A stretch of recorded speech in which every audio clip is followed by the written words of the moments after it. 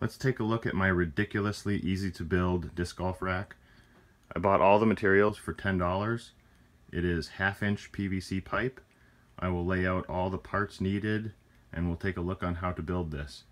This rack will hold 100 discs. In the center I have 33 discs and 12 are mids and putters. I keep my brand new stuff ready to go up top and then all my backups and everything else ready to go.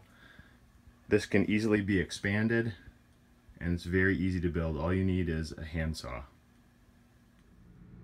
Here's the proof of my $10 spend. If you pause the video here, you can see what sizes to cut out of each pipe.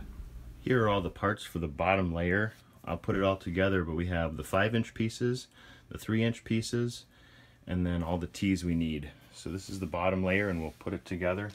First using these.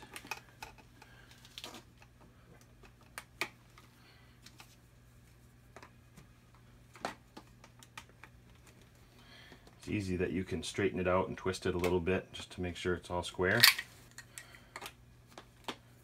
Put the 5 inch pieces in. And that's one layer. Then we can back this up and add a second layer that I have all built.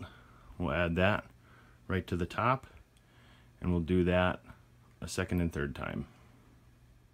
Here's our three layers, but you can see the risers are a little tall on that last bit. So here's where the elbows come in.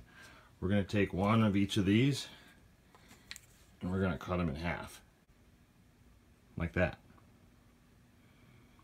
And these are going to go as the risers for this top section all the way around. I'll replace those. So there we have our four short pieces and then we take those extra long pieces add those elbows to it. And those go right here.